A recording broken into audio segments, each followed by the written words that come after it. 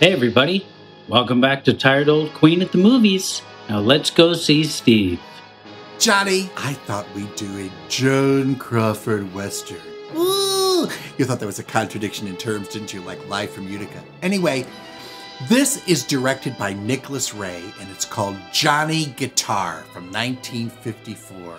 It stars Joan Crawford, Sterling Hayden, Scott Brady, Mercedes McCambridge, Ben Cooper, Ward Bond, and John Carradine. Now, Joan had seen this and she bought this property and she took it to Republic Pictures and she said, I want to do it as a vehicle for myself. She was hoping to get Claire Trevor to star with it, but that didn't happen. So she got Mercedes McCambridge kind of fresh off her Oscar win for All the King's Men. This was a troubleshoot from the word go. Basically, the plot is Joan plays Vienna. She owns this saloon. She's waiting for the railroad to come in. She she's gotten a tip that the railroad is going to come through where she lives. How could you possibly know that the railroad was coming this way? Some time ago, I ran into your surveyor and we exchanged confidences the local people have got in arms about her and they've decided to throw her out, that she's a, a, wronged woman and get her out of the area. Especially Emma Small, played by Mercedes McCambridge, who hates her. There's a real, real quasi gay lesbian thing going on, feel between this movie. It's, it's an undercurrent that runs through this whole movie. They both cast the same shadow. Emma's brother was infatuated with Joan, and Emma's brother is killed when somebody robs the stage. So Emma's in a vendetta to get Joan. Someone holds up the stagecoach. Your brother is killed, and all you can think about is hanging the dancing kid. And at the same time, Joan's ex lover comes into town, Johnny Guitar. That's no name. Anybody care to change it? He is a gunslinger, but nobody knows it. He says he's just come in to play guitar. They had a bad party, so she hasn't seen him in a long time. And of course, she's still in love with him and they strike up sparks, but she needs him to kind of defend her from all this posse that comes in. I'm passing a law against gambling and drinking any place outside the town limits. That law goes into effect in 24 hours, that's all. Now, the other person who's after her at the same time is the dancing kid, played by Scott Brady. That's the name, friend. Care to change it? The head of this gang that everybody thinks is doing all the robberies around. And there's a young guy named Turkey, played by Ben Cooper, who's a member of this gang. I'm staying with you. If you look after me, who's going to look after you? And so Joan has the dancing kid and she has Johnny Guitar both in love with her and this other guy. And all the men want her. And there's like this sexual tension just rife through this. And basically it, it leads up to to robberies and gunfights and this showdown between Emma and Vienna. It's very exciting. The first time that they met, Mercedes walked over to the dressing room to meet Joan Crawford, who was getting made up in costumes. And Joan had these cowboy boots on. And Mercedes walked over and said, How do you do, Miss Crawford? I'm Mercedes McCambridge.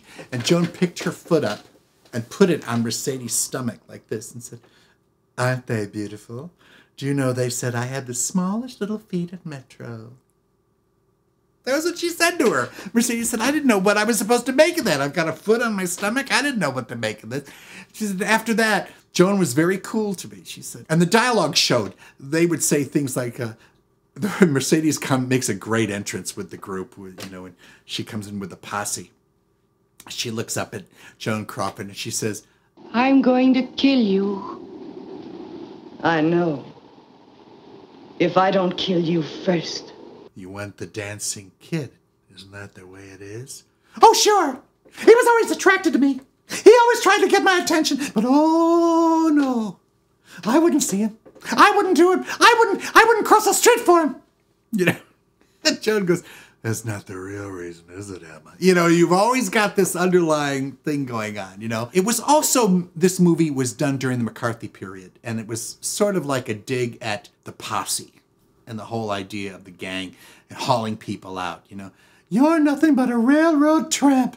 You don't deserve to live with decent people. Bring in thousands of new people from the east. Farmers, dirt farmers, squatters. They'll push us out.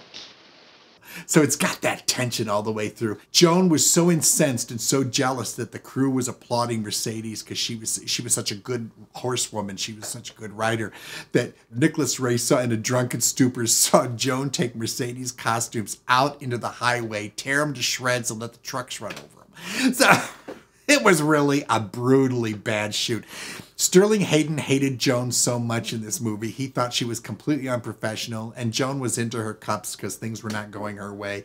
This was kind of during the Mommie Dearest phase that Christina wrote about, and was so uncomfortable for Nick Ray. He said that on the way to the to the set every morning he would pull the car over, open up the door, and throw up and then have to shut and go back to the set because the tension was so bad and the fights were so bad. But the results were terrific. When it came out, it bombed. But over the years, it has become a big cult film. And one of the big champions of Johnny Guitar is Martin Scorsese, who just loves this movie. And the French critics loved this movie and said it turned the whole genre of the Westerns on their ear. Mercedes does this thing that is just amazing. She's, there's a scene when she sets the saloon on fire after they're going to lynch Joan. They come in and grab Joan and Mercedes will go, take her down! Hang her! Hurry up! Hang her! All right, Emma. So they take her down and they tie her up, and she's Mercedes walks in with a rifle and she shoots down the chandelier and catches the whole saloon on fire. And there's a shot outside, and you see Mercedes come out, come down the stairs, and come across with her back to the camera and hit her mark and turn. And she's just wild with those flames in back of her. And it's such an amazing thing. I don't know how she did it. She was an incredible actress. She was a hard woman to cast. But whenever they put her in, she was great. She's great as Rock Hudson's sister in Giant got another Oscar nomination. She's terrific as Elizabeth Taylor's mother in Suddenly Last Summer. Oh, Kathy, Kathy, they're going to tear your brain out. They're going to do a frontal, but I can't talk about it. she, she's just hysterical. And of course, she her she was famous as the voice of the demon in The Exorcist. And there was that whole controversy because he had the nerve, Friedkin had the nerve to think that he couldn't put her name on the screen credits. No credit at all. Everybody else connected with the silly production got all kinds of credit. I didn't, and I was promised. They showed it to me. She fought him, by God, and she got her name on the voice vocal talents of Mercedes McCambridge because she went through hell. You killed your I'm mother. your servant. You left her alone to die. to Shut up! I'll never forgive you. Oh, Lord, Shut up! the Bastard! Sterling Hayden survived acting with all of those tough leading ladies. He was with Bette Davis in The Star. He was with Barbara Stanwyck in Crime of Passion. He acted opposite all of them. But he would appear in movies like Stanley Kubrick and Doctor Strangelove. He did this great role in Doctor Strangelove later on. And he's in The Godfather. He was the police chief that gets that Al Pacino kills in the restaurant in The Godfather. He was great. He was a great actor. Joan was tough. Joan changed her image six different times during her career. First, she was the, the Charleston dancer. Then she was the shop girl. Then she was the career woman. Then she was the woman in peril. You know, the people were trying to kill all the time. Uh, she just kept going. She figured out how to do it. She was tough. She was resilient. And you can't stop watching her. She's so good. Come and get me, Mr. McIvers. We don't want no shooting, Vienna. I'm not coming peaceably, Marshal. I love a good I love a good girl western. I love that. It's like Westward the Women. I love a western that's got a lot of girl power in it. And boy, does this have it in spades. You're gonna have such a good time. On the range with Joan Crawford, Mercedes McCambridge, Sterling Hayden, Scott Brady, Ben Cooper, John Carradine, and Ward Bond in Nicholas Ray's Johnny Guitar. Let's all go to the lobby. I know, Steve. I was in the musical. And Johnny Bixler.